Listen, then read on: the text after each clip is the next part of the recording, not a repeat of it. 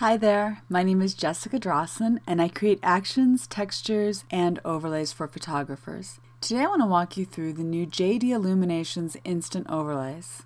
Now, the first thing I want to address is what's an instant overlay?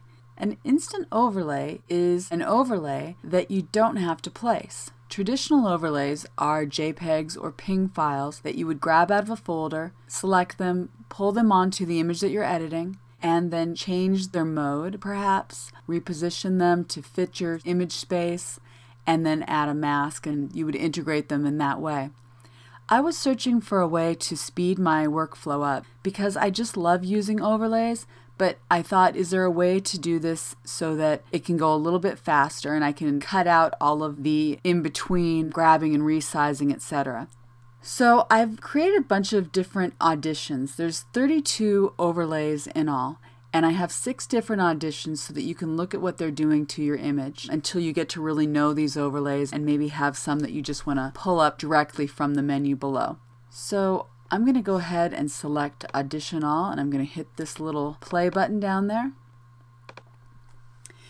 Now, depending on the computer you're using and how much RAM you have allocated to Photoshop and how many application programs you have open, this first audition that runs all 32 of the overlays in the background could take a little bit of time. You might need to be patient, go grab a cup of coffee, etc. You don't need to use the audition all. If it's taking too long for you, you can simply go into the overlays that you feel most comfortable with. But I love to audition all of them, and I think it helps me to build and edit when I'm working with the straight out of camera image as I am here. And I just want to quickly mention that if you're working with an image that you've already edited, you might want to lower the default opacity of some of these overlays. I've set them all up for you so that with just a click of the button, you get an effect but I've sort of imagined that you would be using these with a straight out of the camera image, so the defaults are set a little higher. So if you've already edited an image and you're just looking for a little extra something to provide depth or color, you might want to lower the opacity. All right, so I'm going to just quickly run through and edit with this. I want to add a little warmer color. And so I'm going to look for the tone that I want to go with. And in this case, I really like how Blended Mocha is working. So I'm going to go ahead and, and stick with this. The default is at soft light. If I wanted it to be a little deeper, I would hit overlay here. I can adjust the opacity.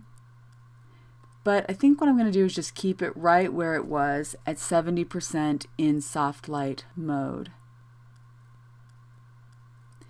And then I think what I'm going to do is I'm going to look for one of the other overlays here just to give it even a little bit more tone.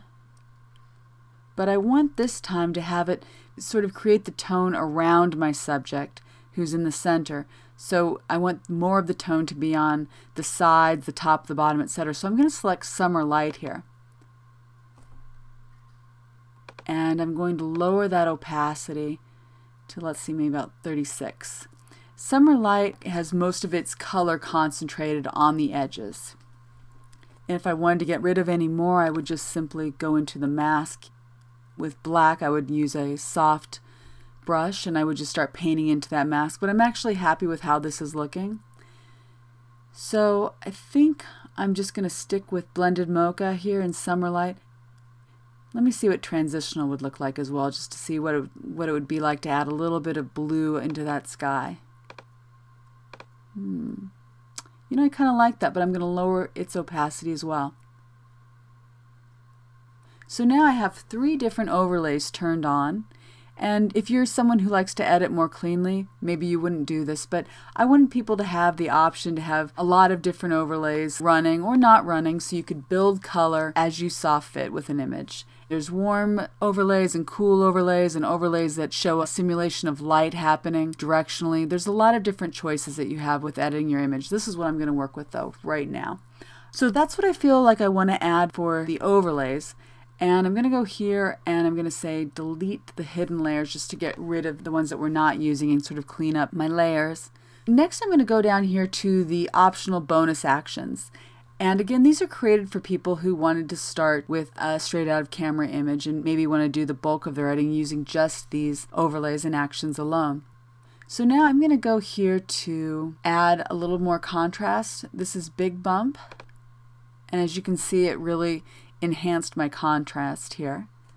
If I didn't like that, I could always change the opacity, but I, I like how it's looking. Uh, next, I might just opt to lighten the darks just a little bit. So I'm going to press play here. And I'm going to lower that way down because on the whole I, I kind of enjoy having some fairly dark darks. And I'm going to paint into this mask with a soft black brush right here and bring back the contrast so that I can separate him off of the background. Just using a soft black brush. I'm not being fussy with it at all. I'm just keeping the opacity rather low and painting right on in there. This is a golden flare that's also a bonus action. Press this. Now it defaults to landing right in the center of the image. You simply select your move tool and we're going to place this right here like the sun setting here behind this hill which is actually happening but we're just going to accentuate some of the pretty color that's that's there. If you didn't like any of that, you would again just paint into that mask using a soft black brush. But I like it. Um, I'm going to go now here to Selective Sharpen. I'm going to bring out some of that detail. This time, because the mask is black, I'm going to paint into it using a white brush because the rule with masking is that basically if you have white here you can see anything. If it's black you can't see any of the of the adjustment so you have to paint with black to not see something that's there and you paint with white in order to reveal something. So we're going to reveal that sharpening by painting in using this white brush showing that adjustment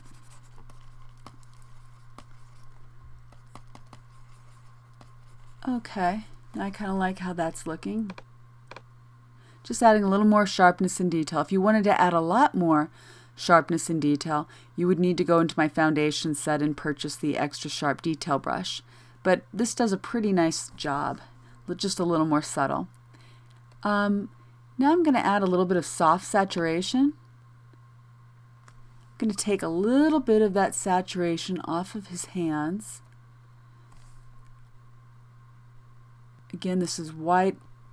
All that saturation showing. I'm going to mask out a little bit of it here on, on that skin tone down there. Maybe a little on that cheek. Again, I'm not fussy about it. Now, I'm going to also see what vibrance looks like. And I'll toggle and yeah, I like how that vibrant effect is, but again, I'm going to remove a little bit of it on his skin tones. Maybe even a little on his shirt. So I'm just painting very quickly. I'm literally painting. I'm not worrying. I'm not fussing about is it perfect. I'm not making, you know, sure that I, I stay within the lines. I'm just masking out, building up a layer of what I, of, of taking out some of that vibrance here just with using a soft black brush. All right, uh, I think I'm pretty happy with this edit.